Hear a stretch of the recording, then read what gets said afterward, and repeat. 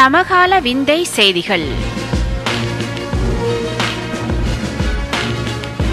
பாகம் இருபத்தி எட்டு.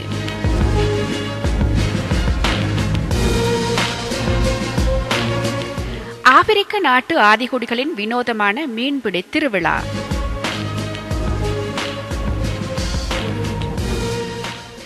ஆப்பிரிக்க நாடுகளில் ஒன்றான மலி ஆதிக்குடிகள் செறிந்து வாழும் நாடாக திகழ்கிறது. தொழில்நுட்ப உலகிலிருந்து முற்றாக புறக்கணிக்கப்பட்ட ஒரு இடமாகவே இது தெரிகிறது. ஆனாலும் இவர்கள் தமது கலாச்சார நடைமுறைகளுடன் நிம்மதியாகவே வாழ்ந்து வருகின்றனர். இவர்கள் ஆண்டுதோறும் வினோதமான மீன்பிடி திருவிழாவை கொண்டாடி வருகின்றனர். எட்டு திக்கிலும் கடலே கிடையாது. ஆனாலும் பம்பா என்னும் கிராமத்தில் சேரும் சகதியுமாய் நிரம்பிய ஒரு குட்டை காணப்படுகிறது. இங்கு மீன் இருப்பது கடலில் முத்தெடுப்பது போல. பறவைகள் எல்லாவற்றையும் கொத்தி சென்றுவிட எங்கோ ஓரிரு மீன் இருக்கும். அதை பிடிப்பதற்காக ஊரே திரண்டு வரும். மீன்களை பிடிப்பவர்கள் வெற்றியாளர்களாக அறிவிக்கப்படுவார்கள். வாருங்கள் இந்த திருவிழாவின் சுவாரஸ்யங்களை காணலாம்.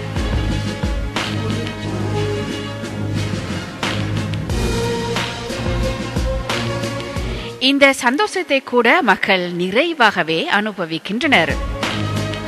சகதிக்குள் மீன்பிடித்து ஒரு திருவிழாவா என்றும் கூட கேட்க தோன்றுகிறது.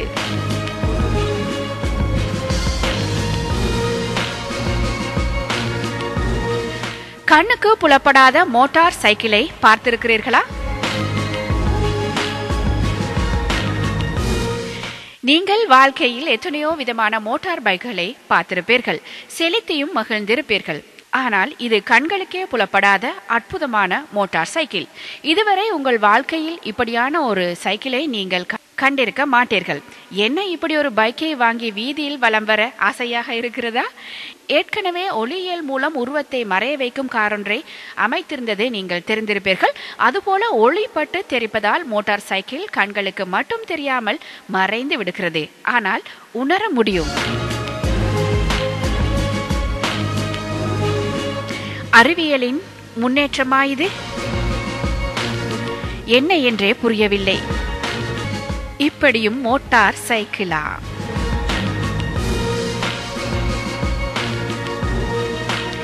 இனி கைகளால் பல் துளக்க தேவையில்லை. புதிய தொழில்நுட்பம் அறிமுகம். பிரஷை பிடித்து பல் துளக்குவது என்பது பலருக்கு இயலாத காரியம். எமது அன்றாட நடவடிக்கைகளில் எவ்வளவோ மாற்றங்களுக்கு உள்ளானாலும் இந்த பிரஷை பிடித்து பல் துளக்குவது மட்டும் மாறவே இல்லை. இருபத்தி ஆறு வயதான இரு கனேடிய நண்பர்கள் எடல் எல்சிரி மற்றும் செயிட் ஃபயாட் நாக்கினால் பல் துளக்கும் சிறிய உபகரணம் ஒன்றை உருவாக்கியுள்ளனர் பட்பசையை இதில் தடவி நாக்கினுள் பொருத்திவிட்டால் போதும். கைகளுக்கு இனி விடுமுறை. நாக்கினால் பற்களை தொடுவதன் மூலம் பற்களில் இருக்கும் அழுக்குகளை சுத்தம் செய்யும் விதமாக இது அமைக்கப்பட்டுள்ளது.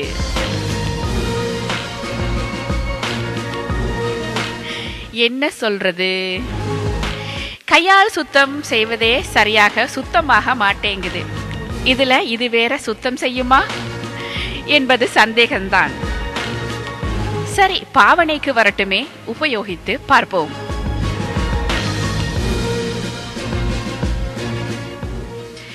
இருப்பிடமாக மாறியிருக்கும் எண்ணெய் களஞ்சியம். வியன்னாவில் அதாவது ஆஸ்திரியாவின் ஒரு நகரம் இது. ஆயிரத்தி எண்ணூத்தி தொன்னூற்றி ஆறாம் ஆண்டில் உருவாக்கப்பட்ட எண்ணெய் களஞ்சியம் ஒன்று இன்று இருப்பிடமாக மாற்றப்பட்டுள்ளது. கோல்கேஸ் எனும் எரிவாயுவை சேமித்து விநியோகிக்கக்கூடிய கேந்திர அமைவிடமாக காணப்பட்ட இப்பகுதி எரிவாயு விநியோகத்தில் ஏற்பட்ட தடை காரணமாக இதன் பணிகள் முழுவதுமாக இடைநிறுத்தப்பட்டது. இது தொண்ணூறாயிரம் சதுர மீட்டர்கள் கனவளவுள்ள கொள்கலனாகும். அக்காலத்தில் இது ஐரோப்பாவின் நான்காவது பெரிய எண்ணெய் களஞ்சியமாகவும் காணப்பட்டது. இப்போது பல்கலைக்கழக மாணவர்களுக்கான விடுதியாக மாற்றப்பட்டு சுமார் ஆயிரத்தி இருநூறு மாணவர்கள் இங்கு வசித்து வருகிறார்கள்.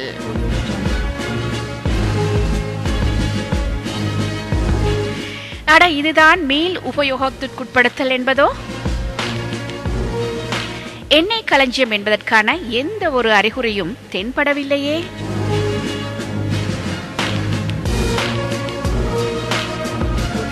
ஸ்டார் ஹோட்டல் போல காட்சியளிக்கும் டோக்கியோ நகரின் பாதாள சாக்கடை.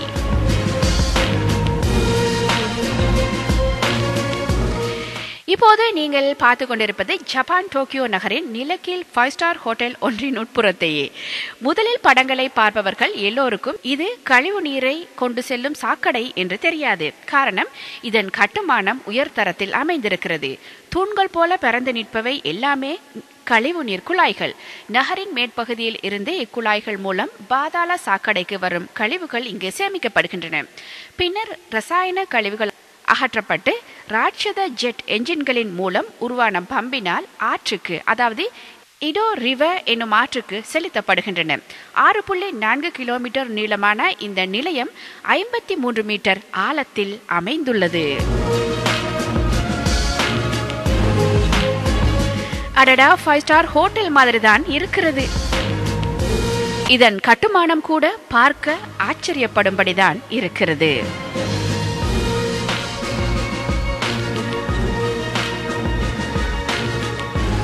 சொந்த வீட்டிலேயே திருடும் பெண்ணால் சிரமப்படும் தாயார்.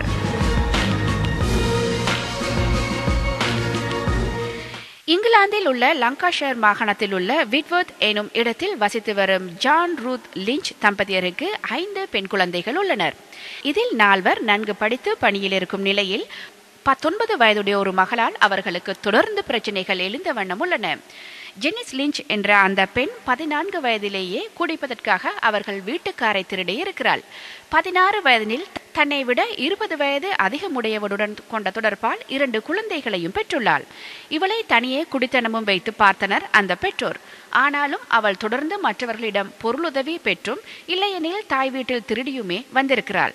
தற்போது வீட்டில் இருந்த நகைகளையும் தந்தையின் தங்க ஒற்றையும் திருடியதால் குடும்பத்தினர் காவல்துறையினரிடம் புகார் கொடுத்துள்ளனர். முன்பே இரண்டு முறை ஜென்னிஸ் காவல்துறையினரால் விசாரிக்கப்பட்டு தண்டனை ஏதுமின்றி வெளியே விடப்பட்டாள். இப்போதும் அவளை விசாரித்த நீதிபதி அவள் மனம் திருந்துவாள் என்ற நம்பிக்கையுடன் பன்னிரண்டு மாதங்கள் அவள் பெற்றோர் வீட்டுக்கு செல்லக்கூடாது என்ற நிபந்தனையுடன் அவளை வெளியில் விட்டுவிட்டார்.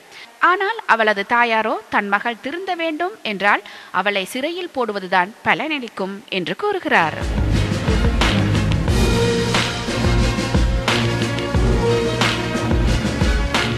எந்த குழந்தையும் நல்ல குழந்தைதான் மண்ணில் பிறக்கையிலே. அவள் வாழ்ந்த சூழல் நண்பர்கள் வட்டம் அவளை இந்த அளவுக்கு இழுத்து வந்திருக்கிறது. சிறையில் போடுவது என்பது அவளை நன்னடத்தை உள்ளவளாக மாற்றுமா என்பது தெரியவில்லை. அவள் நினைக்க வேண்டும் தன் தவறை உணர வேண்டும். அதை பெற்றோர்கள் உணர்த்த வேண்டும். காடு மலைகள் கண்டங்கள் பல தாண்டி பாடசாலைக்கு போகும் சிறார்கள். இச்சிறுவர்கள் பாடசாலை விடுமுறைக்கு சுற்றுலா போகிறார்களோ என்று நீங்கள் எண்ணக்கூடும். உண்மையில் இவர்கள் பிக்னிக் போகவில்லை பாடசாலைக்கு போகிறார்கள். தினம் தினம் இவர்களின் பாதை பல தடைகளை கொண்டிருக்கும் எல்லாவற்றையும் தாண்டி பாடசாலைக்கு போக பாதி நேரம் முடிந்துவிடும். பின்னர் மறுபடியும் முதல்ல இருந்து வீடு திரும்ப வேண்டாமா? சீனாவின் ஜெங்குவான் என்ற கிராமத்தில் இருக்கும் குழந்தைகளை இவர்கள். கிராமத்தில் பாடசாலைகள் காணப்படாததால் பல மைல்கள் கடந்து நகருக்கு செல்ல வேண்டும். போக்குவரத்து பிரச்சனை இவர்களுக்கு. குறுக்கு வழிக்கு பாதி தூரம்தான். அதனால் இவ்வளவு துயரம். கிராமத்தில் இருந்து வெளிவர உதவும் பாலமும் சேதமடைந்து கயிற்றின் உதவியாலே கடக்கின்றனர். கொஞ்சம் மழை பெய்து வெள்ளம் வந்தாலும் இவர்கள் நிலைமை மோசமாகிவிடும். இவர்களின் பாதையை வார்த்தைகளால் விவரிக்க முடியாது. படங்களே அதை விளக்கும். இதுபோல எத்தனையோ சோகங்கள் வெளிக்கொணரப்படாமலே மறைந்து போகின்றன. சீனாவில் மட்டுமல்ல ஏனைய நாடுகளிலும் தான். என்ன கொடுமையடா? உயிரை கையில் பிடித்துக்கொண்டு பாடசாலைக்கு செல்லும் இந்த சிறார்களை பார்க்கும்போது பயமாகவும் பரிதாபகரமாகவும் இருக்கிறது. இதற்கு ஒரு முடிவு இல்லையா? இதற்கு பொறுப்பானவர்கள் கவனிக்க மாட்டார்களா? உயிரை பணயம் வைத்து இப்படி கல்வி கற்பது தேவையா என்பது போல் இருக்கிறது எனக்கு. இடைவிடாது சிரித்துக்கொண்டே இருக்கும் அதிசய சிறுவன். புன்னகை சிரிப்பு ஆகியவை மனிதனுக்கு ஆரோக்கியம் தரும் அருமருந்தாகும். ஆனால் அதுவே அளவுக்கு மீறும் போது தொல்லை கொடுக்கும். அதுபோல இங்கிலாந்து நாட்டில் வடக்கு வேல்ஸ் பகுதியில் வசிக்கும் ஜேம்ஸ் எடேகாஸ் வயது பதினொன்று என்ற சிறுவன் அவதிப்படுகிறான். இவன் பிறந்த நாள் முதல் இப்போது வரையில் எந்த நேரமும் உறக்க சிரிப்பதும் புன்னகை தவழ்ந்தபடியுமே இருக்கிறான். இவனால் வாய் பேச முடியவில்லை. இதனால் தனது தேவைகள் உணர்வுகளை ஐபேட் மூலம் பெற்றோர் மற்றும் நண்பர்களுக்கு தெரிவிக்கின்றான். இந்த சிறுவனின் தாய் ராஷேல் கூறும்போது அவன் ஒரு மகிழ்ச்சியான பாசமுள்ள குழந்தையாக இருப்பது எங்களுக்கு சந்தோஷம். ஆனால் ஆபத்தான விஷயங்களை உணரும் சக்தி அவனுக்கு இல்லை. எனவே அவனை நாங்கள் கண்காணிக்க வேண்டியிருக்கிறது என்கிறார். இதே பிறவியிலேயே நரம்பியல் கோளாறினால் ஏற்படும் நோய் என்று மருத்துவர்கள் கூறுவதாகவும் நாடு முழுவதும் இவ்வாறு சுமார் ஆயிரம் பேர் பாதிக்கப்பட்டு இருப்பதாக ஒரு புள்ளி விவரம் கூறுவதாகவும் அறிய தருகிறார்கள். அது மட்டுமல்ல பதினேழு மாத குழந்தை முதல் இவனை விசேஷ படுக்கையில் வைத்து டாக்டர்கள் சிகிச்சை கொடுத்து வருகிறார்கள். இதற்கான செலவுகளை தன்னார்வ தொண்டு நிறுவனங்கள் ஏற்று வழங்குகிறது.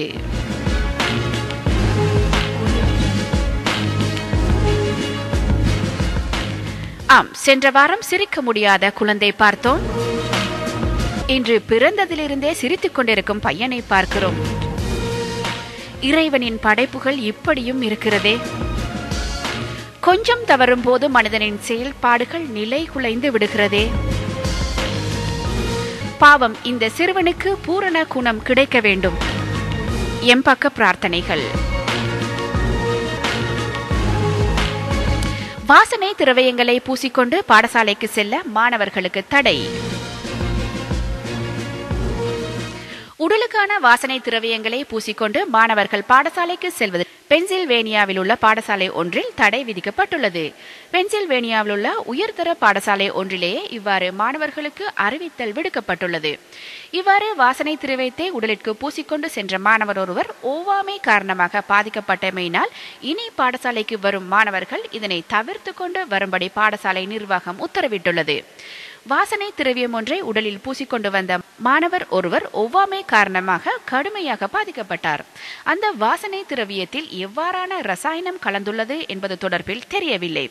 இவ்வாறான அசம்பாவிதங்களை தவிர்த்து கொள்ள மாணவர்களை வாசனை திரவியங்களை பூசிக்கொண்டு பாடசாலைக்கு வர வேண்டாம் என பணித்துள்ளோம் என்று பாடசாலை நிர்வாகம் தெரிவித்துள்ளது.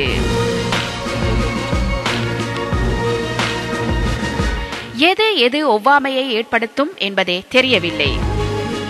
அது அது வந்து முடிந்த பின்தான் ஒவ்வாமை என்று தெரிகிறது. எதுவாயினும் ஒவ்வாமை எரிச்சலூட்டக்கூடிய விடயம் என்பதை உணர்ந்து தவிர்ந்து தவிர்த்து நடந்து கொள்வோம்.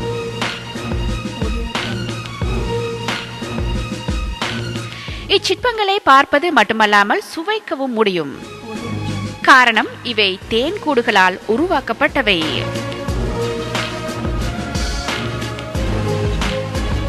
இங்கிருக்கும் சிற்பங்கள் உண்மையில் இனிப்பு தின்பண்டங்கள் பிஸ்கட் மூலம் தயாரிக்கப்பட்டு இயற்கை தேன்கூடுகளால் அலங்கரிக்கப்பட்டுள்ளன. கடிக்கும் போது தேனோரும் சுவை நிஜமாகவே இங்கு வந்துவிடும். அகனிதா டைக் என்ற கனடிய கலைஞர் மூலம் உருவாக்கப்பட்ட இவ்வகையான சிற்பங்கள் பல உணவகங்களையும் அலங்கரித்து வருகின்றன. பார்ப்பதற்கு அழகாக ஆச்சரியமாக இருக்கும் இந்த தின்பண்டங்களை எப்படி சாப்பிடுவது என்பதுதான் என் கேள்வி. இதனை பீத்தெடுத்து வாயில் போட மனசு வருமா? நீங்களே சொல்லுங்கள். சாத்தியப்படவிருக்கும் மனித சக்தியால் இயங்கும் ஹெலிகாப்டர்கள். தனி மனித சக்தியால் இயங்கக்கூடிய ஹெலிகாப்டர் ஒன்று அமெரிக்க பல்கலைக்கழக மாணவர் ஒருவரால் அறிமுகப்படுத்தப்பட்டு அதன் நடைமுறை சாத்தியப்பாடு மற்றும் பாதுகாப்பு தொடர்பில் ஆய்வுகள் மேற்கொள்ளப்பட்டு வருகின்றன. இதன் அமைப்பு ஜார்ஜியாவில் உள்ள அமெரிக்க நிறுவனம் ஒன்றினால் அமெரிக்கன் ஹெலிகாப்டர் சொசைட்டி பரிச்சாத்தமாக செயற்படுத்தப்பட்டும் பார்க்கப்பட்டுள்ளது. சாதாரணமாக சைக்கிள் மிதிப்பது போல மிதி அமைப்புடன் இறக்கைகள் தொடுக்கப்பட்டுள்ளன. இது நடைமுறைக்கு சாத்தியமானால் முதலாவது மனித சக்தியில் இயங்கும் ஹெலிகாப்டர் என்ற பெருமையை பெறும். இப்படி இருந்துவிட்டால் நாங்கள் ஆளுக்கு ஒரு ஹெலிகாப்டர் பயன்படுத்தலாமோ? தங்கத்தை பற்றிய வெளிவராத பல சுவாரஸ்யங்கள். தங்கத்தின் விலை கிடுகிடு என உயரும் போது பார்த்து ஆண்களுக்கு வயிற்றில் புலியை கரைக்கும். பொன்னகையை கண்டால் புன்னகைக்கும் மனைவியை நினைத்து கலங்குவது இயல்பானதுதான். என்னதான் தங்கத்தின் விலை ஏறினாலும் தலையை அடைமானம் வைத்தாவது வாங்கி கொடுத்தே ஆக வேண்டும் தானே அதனால் தங்கத்தை பற்றி சில விடயங்களையும் தெரிந்து கொள்ளுங்கள். வரலாற்றுக்கு முந்தைய மனிதர்கள் பயன்படுத்திய உலோகம் தங்கம். கிறிஸ்துக்கு முன் நாலாயிரம் நூற்றாண்டுகளுக்கு முன்னரே தங்க நகைகள் பயன்படுத்தப்பட்டதாக பல்கேரிய தொல்பொருள் ஆய்வு தெரிவிக்கிறது. எனவே தங்கத்தின் வயது கற்காலத்திலிருந்து ஆரம்பிக்கிறது. கிறிஸ்துக்கு முன் ஏழாம் நூற்றாண்டில் இத்தாலிய பல் மருத்துவர் ஒருவரால் தங்கத்தால் பற்கள் கட்டப்பட்டன. பதினாறாம் நூற்றாண்டிலிருந்து பல் சொத்தைகள் அடைப்பதற்கு தங்கம் பயன்படுத்தப்பட்டது. தங்கம் உயர் நீட்சியடையும் தன்மையையும் தகடாகும் தன்மையையும் கொண்டுள்ளது. பழங்காலத்திலிருந்தே இன்று வரை தங்கம் பெருமதி மிக்கதாகவே இருந்து வருகிறது. இதுவரை கண்டுபிடிக்கப்பட்ட தங்கத்தின் எண்பத்தி ஐந்து வீதம் தற்போது பாவனையில் உள்ளது. அமெரிக்காவின் அப்போலோ ஆகாய கப்பல் தங்கமுலாம் பூசப்பட்டிருந்தது. கதிர்வீச்சிலிருந்து விண்வெளி வீரர்களை பாதுகாப்பதற்காக இவ்வாறு செய்யப்பட்டது. இப்போதும் கூட விண்வெளி வீரர்கள் அணியும் தலைக்கவசம் தீவிர ஒளியிலிருந்து விண்வெளி வீரர்களின் கண்களை பாதுகாக்க மெல்லிய தங்கமுலாம் பூசப்பட்டிருக்கும். தங்க சுத்திகரிப்பு முறையானது ஓரளவுக்கு சூழலை மாசடைய செய்யும். தங்க சுரங்கமானது பெருமளவு சயனைட்டை கொண்டிருக்கும். மேலும் நைட்ரஜன் ஆக்சைட்ஸ் மற்றும் சல்பர் ஆக்சைடு என்பவற்றை வெளியில் பரவ செய்யும். தங்க சேமிப்பை பொறுத்தவரையில் அமெரிக்கா உலகில் முதலிடத்தில் இருக்கிறது. தங்க ஆபரணங்களை கருத்தில் கொண்டால் இந்தியா முன்னணியில் உள்ளது. இருபது வீதமான தங்கம் அலங்காரத்திற்காக பயன்படுகிறது. உதாரணமாக சேலைகளில் பயன்படுத்தப்படும் தங்கம்.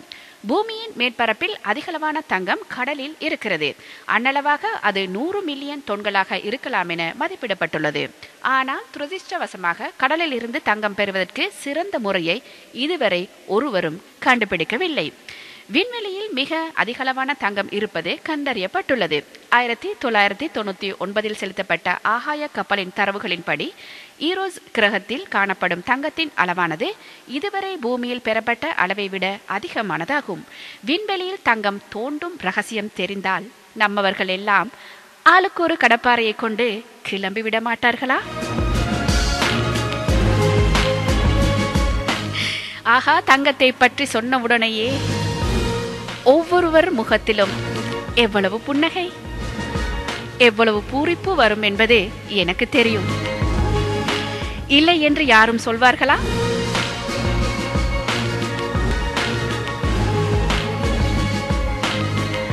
ஆம் இந்த புன்னகை பூரிப்புடன் இன்றைய சமகால விந்தை செய்திகள் நிறைவுக்கு வருகின்றன.